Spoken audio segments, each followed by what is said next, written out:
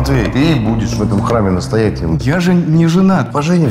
За месяц? Вот, тебе уже сердечки шлю. Я ж тут просто на мертвеца похож. Ничего, пусть сразу знает, как ты в пост выглядишь.